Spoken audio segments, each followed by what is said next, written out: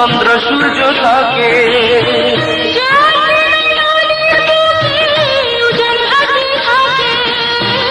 যতদিন ওই কৃষ্ণ চূড়া পাত পাখালি ডাকে ততদিন আর